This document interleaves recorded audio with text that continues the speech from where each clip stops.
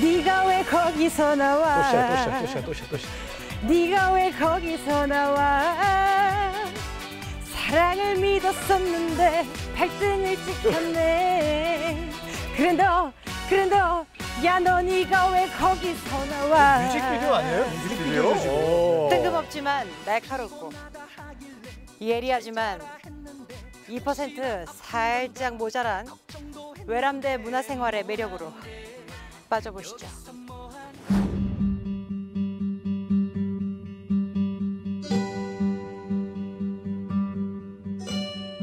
김동현 박사님 안녕하세요. 네, 안녕하세요. 와, 근데 진짜 인상 좋으시네요. 아, 고맙습니다. 아, 진짜 이렇게 화사하게 웃으시는 어, 저분 저 네. 시사평론가 아닙니까? 네, 맞습니다. 김동현 김동현 박사. 박사. 하기 위한 그런 화사한 웃음. 응고의 끝에 그 웃음이 굉장히. 똑똑하신 분이에요. 끝에 옷- 고른 옷입니다.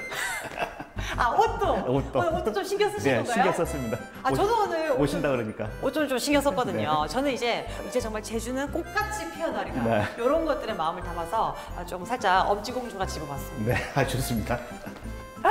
아, 자 사실 박사님 네. 문학을 좀 전공을 하셨나요? 네, 그렇습니다. 제가 문학을 전공했고요. 사사문학하고 사사문학. 그다음 네. 제일조선인 문학 예 공부하고 있습니다. 제가 오늘 이 전시를 보면서 좀 놀란 것은 사삼에 관련된 작품들, 네, 시와 소설 그리고 어떤 많은 역사적인 기록들. 네, 근데 그런 것들이 연도별로 기록이.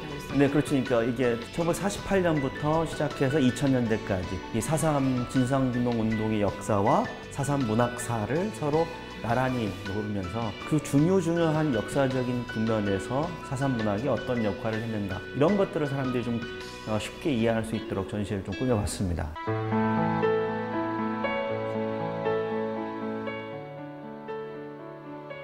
몇년 도에 어떤 작품들로 네. 이 마음에 불탔는지 네. 또몇 년대에는 어떤 작품들이 또 우리의 사상과 민족 의식들을 일깨웠는지 네. 이런 것들을 많이 볼 수 있게 됐어요. 그렇습니다. 우리가 사삼 문학하면 가장 먼저 떠오르는 작품이 뭐세요? 순이 삼촌. 그렇죠, 그렇죠.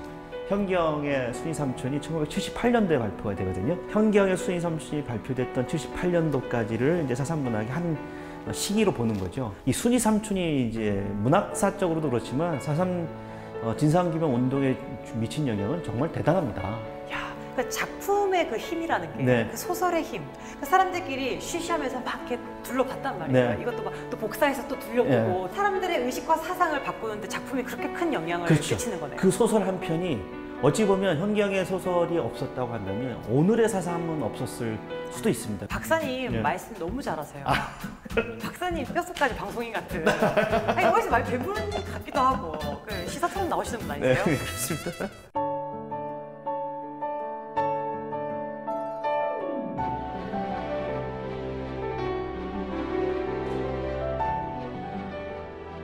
문학이 있다는 얘기는 결국은 이 장소가 수많은 아픔의 땅이라는 것을 의미합니다. 그 다랑시는 이제 다랑시 굴, 굴이라고 하는 데서 그 당시 학살됐던 사람들의 시체가 유해가 발견이 됐던 곳이기도 하거든요. 다랑시를 소재로 해서 정문치라는 시인이 이 시를 썼어요. 한번 읽어보실래요? 입 틀어막힌 굴 안에서 네. 주저앉지도 못한 채 벽 긁으며 죽어갔을 사람들. 네.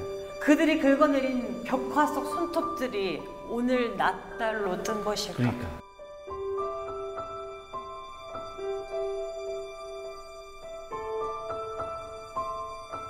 박사님, 박사님은요, 네. 요 사상 관련 문학 다 읽어보셨어요? 거의 다 여기 전공이니까.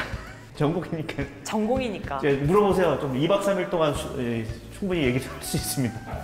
어우, 두렵습니다. 우리 이제 MBC 사장님이 2박 3일 정도 방송을 주시면 제가 밤새서 여러분들에게 사삼에 대해서 사삼 문학에 대해서 말씀을 드릴 수 있습니다. 방송 욕심이 많으신 분이에요. 그러니까요. 예. 사삼 문학의 역사를 제대로 볼 수 있겠네요. 진실 속에서 꽃 피어나는 우리 제주의 역사가 되도록 더 많이 또 함께 해 주시기 바라겠습니다. 네, 알겠습니다. 고맙습니다. 감사합니다. 네, 감사합니다.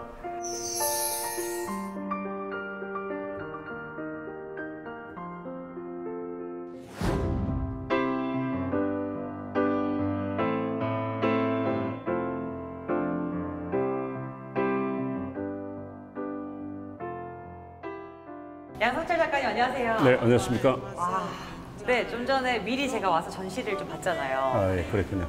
굉장히 젠틀한 보이스의 작품도 굉장히 고급스러워요. 먹과 네. 약간의 어떤 색감을 활용한 고급스러운 작품들을 많이 이렇게 탄생시키신 것 같아요. 어, 그거는 제가 본래 그 서예를 했어요. 아, 그 중학교 때부터 서예를 해서 지금까지 해오는데 한 20년 전부터 서예하고 그림이 만나고 건축을 만나는 작업을 했죠. 아, 그러니까 원래는 네. 서예가 하신 건가요? 네, 그러면? 예, 예.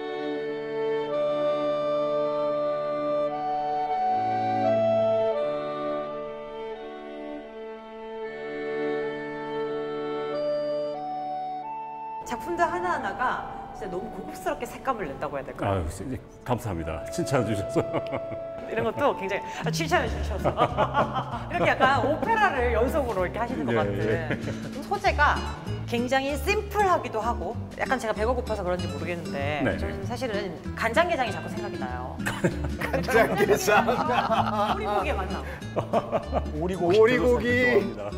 너무 맛있잖아요. 네, 맛있죠. 그러니까 저는 굉장히 처음에 왔을 때 놀랬다고요. 어떻게 이렇게 게와 오리를 이렇게 아이템으로 삼으셨을까?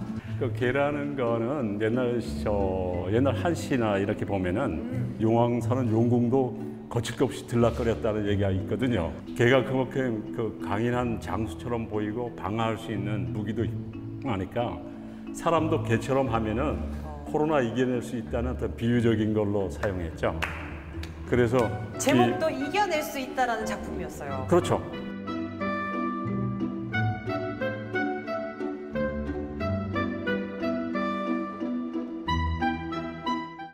작품들을 보니까 제주를 느낄 수 있는 작품들의 그 소재들을 많이 쓰셨더라고요. 네. 약간 흙을 지디겨서 쓰셨나요? 흙이 아니고요. 제주 귤 껍질 있죠.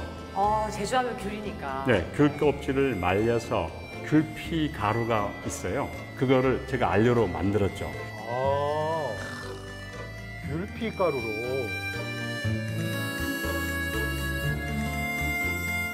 작품들을 보면 굉장히 뭔가 무리지어서 함께하는 게 많은 것 같은데 네. 뭔가 공동체를 의미하는 건가 아니면 가족 애를 얘기하는 건가 싶기도 하고 네, 저는 그 코로나의 거리두기 요즘 분위기 속에서 밖에 생활보다는 안에 있다 보니까 가족들이 이제 누구보다 소중한 거 느낄 수 있죠.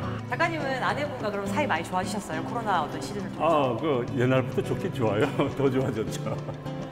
근데 혹시 지금 사진을 계속 찍어주시는 분이 아내분이신가요? 네, 맞습니다. 맞으세요? 네, 어. 네, 그러면 오늘 이 자리를 비롯해서 우리 아내분께 네. 어, 레터 한번 간단하게 카메라 보시면서 한번 해보면 좋을 것 같아요.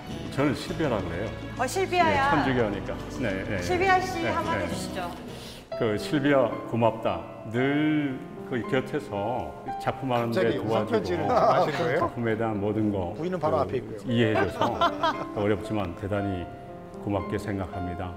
그리고 가장 편하고 쉬운 말 사랑합니다. 아, 실비아, 멋지시다. 실비아, I love you. I love you so much. 아, 실비아, my my lovely soul, my soul. 깽판 life. 치시는 거 아니죠. 우리 지금 실비아 부끄러워서 지금 사라지셨어요. 네. 아 작가님 진짜 너무 순수하신 분 같아요. 우리 실비아와 함께 오랫동안 행복하시고요. 네. 우리 작가님. 제주에서 많은 많은 작품들로 앞으로 또 함께 해 주시기 바라겠습니다. 오늘 정말 감사합니다.